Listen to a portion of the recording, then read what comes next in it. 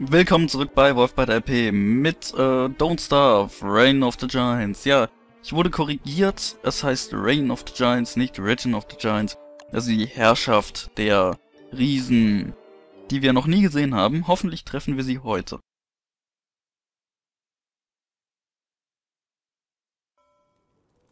Jetzt muss ich erstmal hier gucken, wo wir denn waren. Ach ja, wir waren hungrig. Ansonsten weiß ich leider nichts mehr. Das ist immer das Problem, wenn ich so viel, äh, so lange nichts aufnehme, dann habe ich im Nachhinein keine Ahnung mehr. Hier ist ein Maulwurf. Ich werfe jetzt erstmal einen Blick auf die Karte. Hm. Ja, mal gucken, wo wir sonst so hinkommen.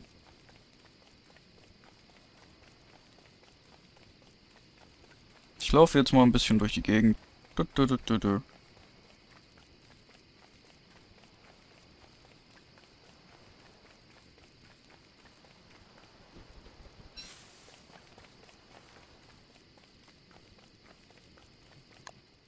Ja, die Orientierung von mir ist mal wieder spitze, aber das ist ja an sich alles nicht so schlimm. Ich frage mich immer noch, was äh, Wearer Skull uns genau bringt.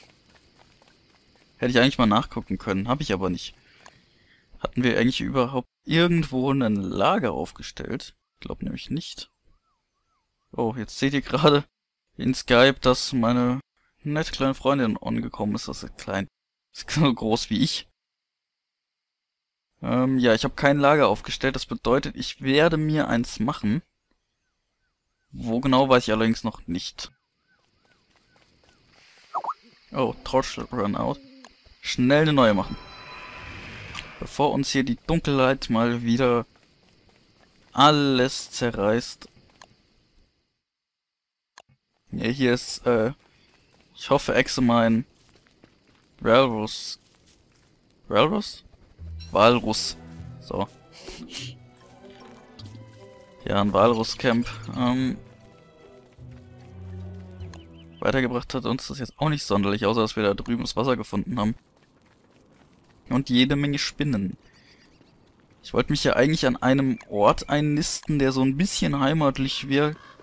Den haben wir aber bis jetzt noch nicht gefunden. Also wo es viele Bärenbüsche gibt und sowas. Dark Slicer spielt dieses Spiel derzeit exzessiv. Ja, der treibt das wirklich, also der studiert dieses Spiel mehr als, ja, er für ein Studium macht. Ja, das kann jeder selber entscheiden. Ihr wisst ja, wie ich dazu denke. Ich denke mal, ihr habt es ja aus den anderen Let's Plays vermutlich mitbekommen. Und ich habe mal wieder vergessen, einen Timer zu stellen. Den werde ich gerade nochmal schnell machen. So, mit einer Hand passt. Habe ich den jetzt überhaupt richtig gestellt? Ja, hups, jetzt habe ich die äh, Torch verbraucht, ungewollt. Äh, ja, ich denke mal, hier werde ich mich einrichten. Was fehlt uns denn noch? Holz und Steine.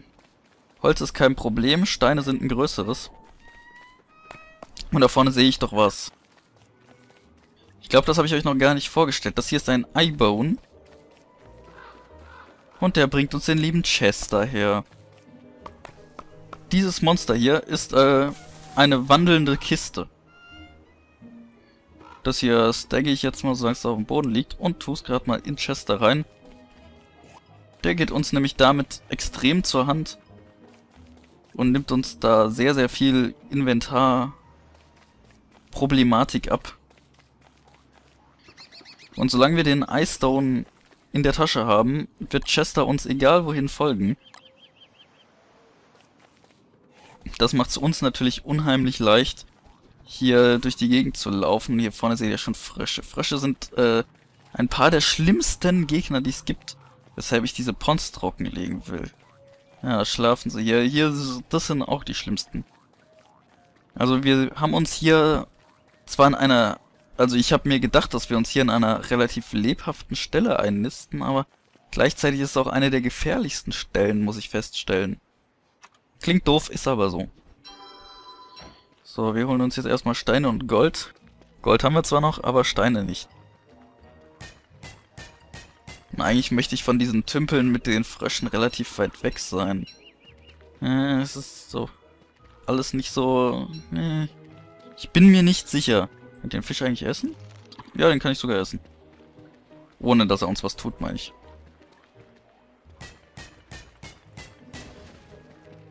Mal gucken, ich bin mir noch nicht ganz sicher, wo ich uns ein Zuhause errichten soll.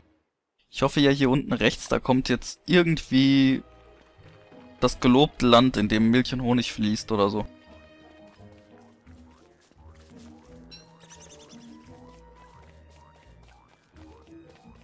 Naja, hier sieht es zumindest annehmbar aus, aber ich niste mich eigentlich immer gerne so am Rand zum Wasser.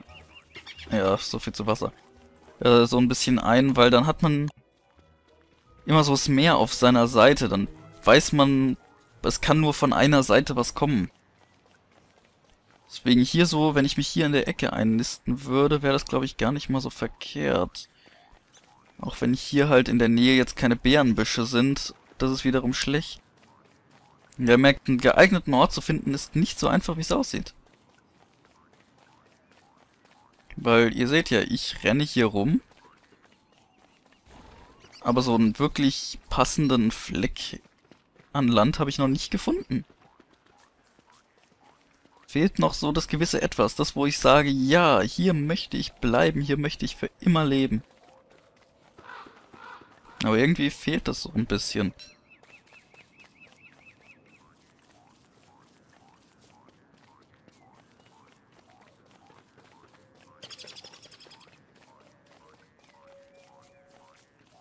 Aber so erkunden wir zumindest mal die Landschaft.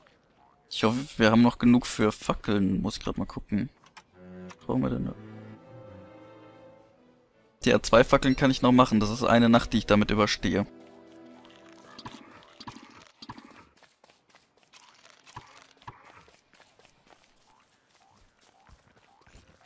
Ach, ich dachte schon, ich hab... Ja, ihr habt ja wahrscheinlich auch den Maulwurf gehört. Ich dachte schon, das wäre ein böser, böser Gegner. Aber nein, es war nur ein lieber kleiner Maulwurf, der hier Steine frisst. Flintstones nehme ich mir auch mal lieber mit, man weiß ja nie. Zweige sind auch nicht schlecht. Und ich glaube, jetzt hier drüben haben wir so ein Fleckchen Land gefunden, das ich wollte. Weil hier ist eigentlich alles in der Nähe. Hier sind Steine. Zumindest ein Bärenbusch. Gut, aber ansonsten sieht's hier auch ein bisschen karg aus. Ja, es ist, das ist alles nicht so der Punkt, an dem ich gerne leben würde. Aber wir haben leider nicht so viel Alternative. Äh, ja, du kommst mal hier. Das Holz nehme ich mir mal raus. Ich glaube, ich werde hier mein Lager aufschlagen.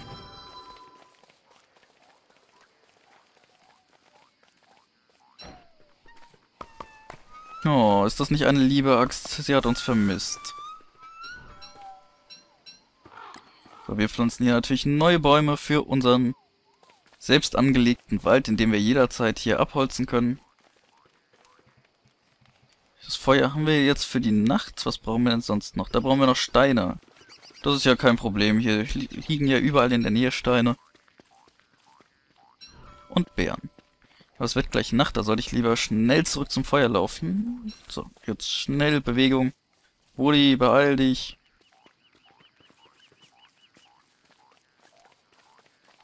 Ja, Samen kann man auch immer gebrauchen. Die rösten wir gleich mal dem Feuer. Ich meine, jetzt ist Nacht, jetzt können wir hier auch ein bisschen kochen.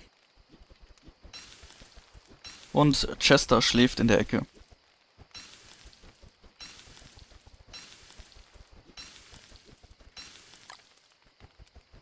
Woody hat so ein paar Besonderheiten. Also das mit dem Holzfällen habt ihr ja gemerkt, geht relativ schnell.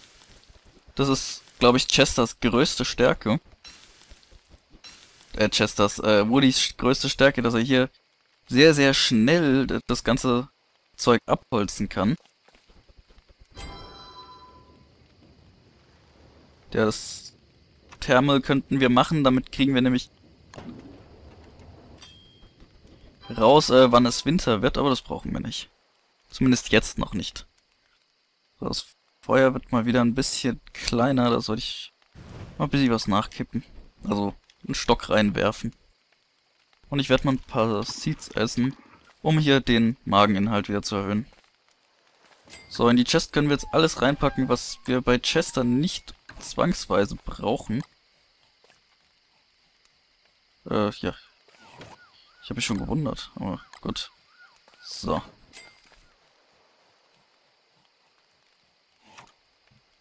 Hm, Zweifel. Was können wir denn da machen? Nix. Doch, hier, wir könnten eine Vogelfalle bauen. Das ist doch schon mal gar nicht mal so schlecht. Und eine Fishing Rod. Habe ich noch nie benutzt, muss ich ganz ehrlich sagen. Ich weiß gar nicht. Ich glaube, da müssen wir zu so einem Tümpel da oben gehen. Hier so eine Vogelfalle hinsetzen. Da legt man dann ein paar Seeds rein. Wenn wir wiederkommen, sollten wir eigentlich einen Vogel gefangen haben. Wir verfolgen die Spuren. Oh Gott, Nebel. Ihr wisst ja, Nebel ist fürs Hirn nicht gerade gut. Ich würde auch gerne außen rumgehen. Aber die Spuren führen, glaube ich, direkt da durch. Ich habe eh keine Schaufel dabei. Können wir uns eine machen? Pitchfork? Ja, Schaufel könnten wir theoretisch machen, wenn wir uns wieder zu unserem Lager zurückbegeben. Wollte ich jetzt aber eigentlich noch nicht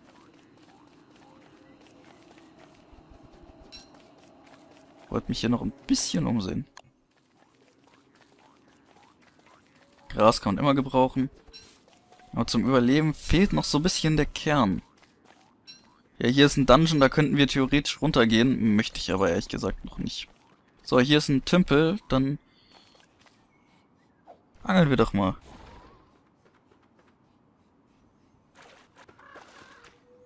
Oh. Das ist praktisch. Was nicht so praktisch ist, ist der Frosch da drüben.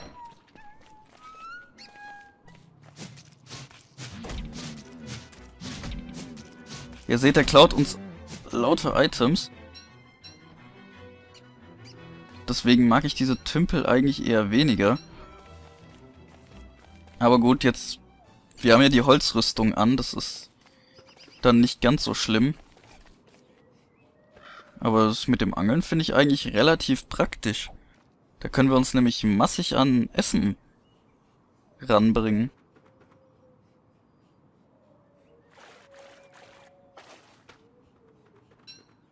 Ja, aber ich glaube, das reicht jetzt erstmal an Essen. Wir wollen ja nicht, dass das alles verderbt dann nachher. Hätte ich eigentlich noch ein paar mehr Spinnennetze gebraucht. Vielleicht treffen wir ja noch mal welche in dieser Gegend. Weil durch die Spinnennetze können wir noch mehr machen als das, was wir bis jetzt alles bekommen haben. Noch viel mehr.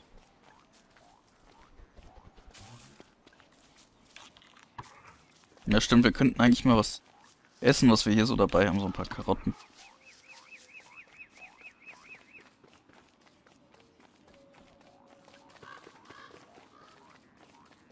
Wir nehmen natürlich hier alles mit, was wir kriegen können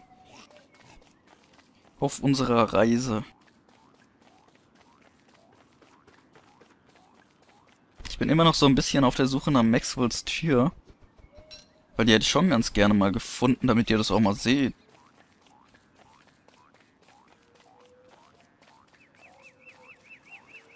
Seht jetzt meine ganzen Skype-Kontakte. Das finde ich nicht ganz so toll, aber es ist ja eine Ausnahme.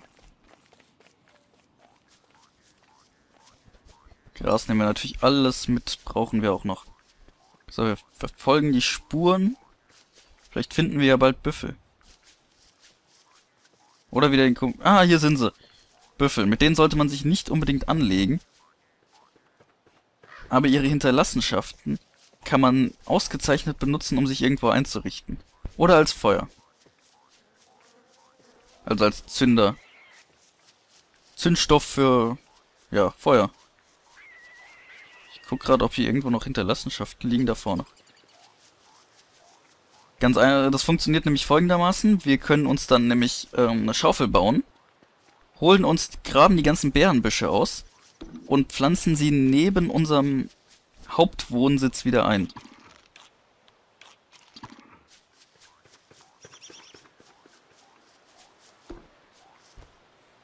Ich kann jetzt leider noch keine Schaufel bauen, weil ich irgendwie verpeilt habe, da mal eine zu machen und jetzt fast wieder Bettzeit.